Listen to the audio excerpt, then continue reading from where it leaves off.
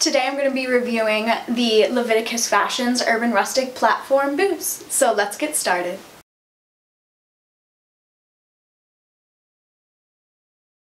Hi, it's Madi again talking about Leviticus Fashions Urban Rustic Platform Boots and it kind of has like a little motorcycle style to it. Um, it's made out of high quality leather. Um, the lining is super comfortable. It, it's like fleece, soft. It has little stars on it, so I love it. It's super cute. Um, it has a little bit more of a scandalous heel on it, super sexy, I love it, but it does have that platform in the front, so it makes it more comfortable, more wearable, super wear it for hours. I certainly did. Um, and then the tread on this one is also super, um, super strong, no slippage. You're not going to have to worry about falling and things like that, even in the wintertime on the ice, things like that with the winter months approaching.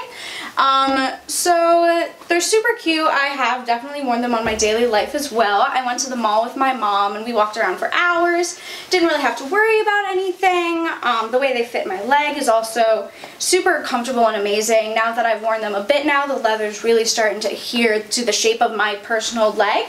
Um, and it's also super nice because I love the way it fits. It really helps me boost my confidence as well when I am wearing them because it, I think of it as much of a statement piece. Like it's really super comfortable, fits my legs super well, hugs it all in the right places. I love the way it creases around my knee as well. It looks super comfortable around the ankle. Um, yeah.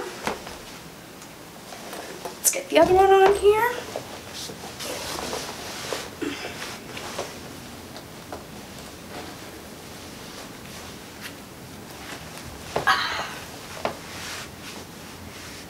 But yeah, definitely starting to form to my leg. All tight in the right places. And there we go. I also love with pairing it with like white jeans, any color jeans I have. Yeah, but there it is. Leviticus Fashions Urban Rustic Platform Heel. So there you have it. Check out LeviticusFashions.com for these boots. Check them out on social media, YouTube. Also check out Gregory Salvatore on YouTube, the platform that I am doing this review through. Thank you. Bye.